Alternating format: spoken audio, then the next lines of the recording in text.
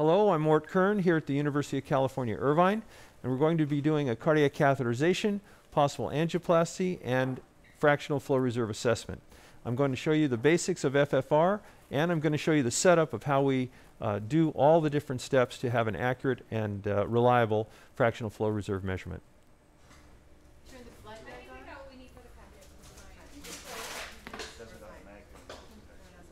on. Okay, stop there. Here's our FFR wire, which has been passed to us out of the uh, package. Uh, the hoop, we like to keep the wire in the hoop. You have your torque tool and your wire connector, which goes to the PIM uh, uh, interface. So the signal will come through the wire, through the PIM to the interface. Now I like to keep everything in the hoop most of the time. I flush the wire, and this is the Prestige wire we're using today. Okay, so the wire is flush. Now I'm going to pass off my connector. I'm going to keep everything free of liquid to my associate here. Thank you, Russell. And of course, we have a standard angioplasty wire introducer and torque tool extra. The PIM has been plugged in and the wire is zeroing. I like to set the wire at the same level as the guide catheter pressure and zero them both. And the reason we do this is so that we don't have a big difference in the zero offsets that the machine will have to adjust for. So are we zeroed? Thank you. Thank you. AO's up. And now we'll just check the wire signal. And there's the wire signal on the FFR. Okay. Next step will be to introduce the wire and then normalize to the aortic pressure. So I'm going to do that now.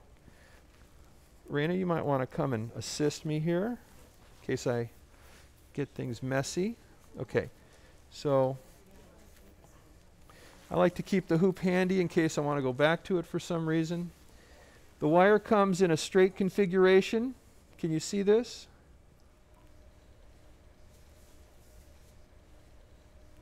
This is straight configuration, yes?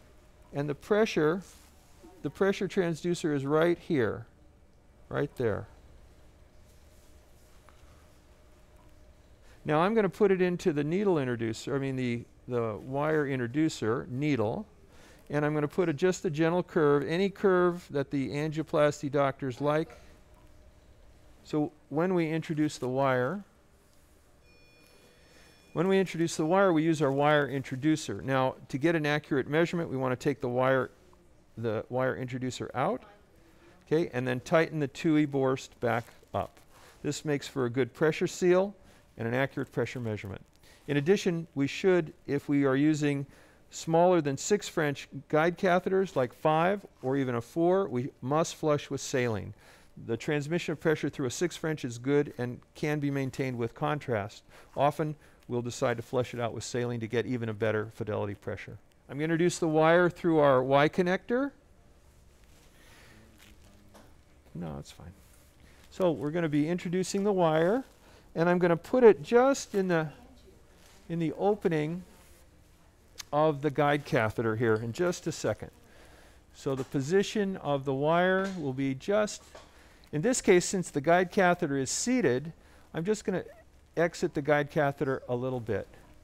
We are going to normalize the guide wire pressure with the guide catheter pressure. And it doesn't matter exactly where the transducer is, but Traditionally, it's been at the tip of the guide, but it could be in the guide or it could even be free in the aorta for certain circumstances. I'm going to take the needle introducer out and I'm going to lock down my Y connector. Okay, let's go again. Normalize, please.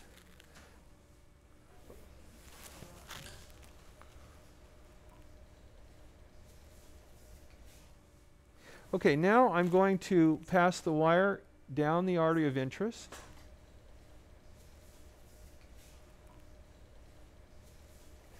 We back our uh, needle introducer out. Now we're ready to measure FFR.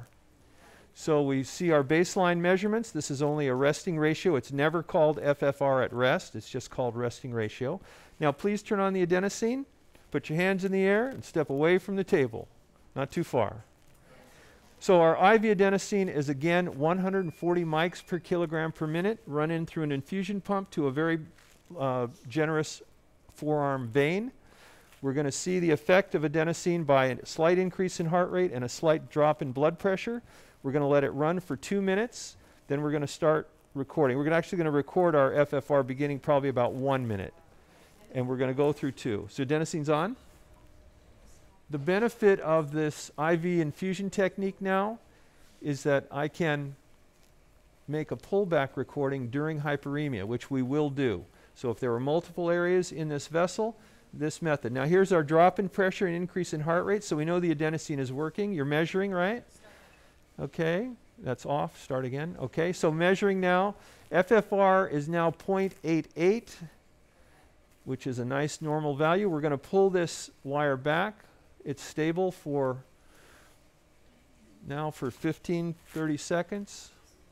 Okay, huh?